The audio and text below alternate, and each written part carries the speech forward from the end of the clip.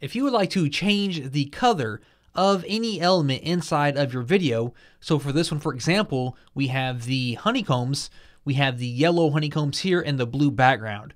If you would like to change any of these colors, all you have to do is click on the animation tab on the right hand side and depending on which template you have selected, you're going to have some different options here. So for this particular template, we can change the color of the yellow honeycombs and we can change the color of the background from blue. All we have to do is click on it.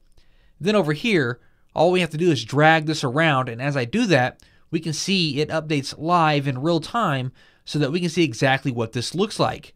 So maybe I want this to be kind of a white, you know, a grayish there. Click on save. And then for our honeycombs here, maybe I want those to be just, you know, let's say black, for example.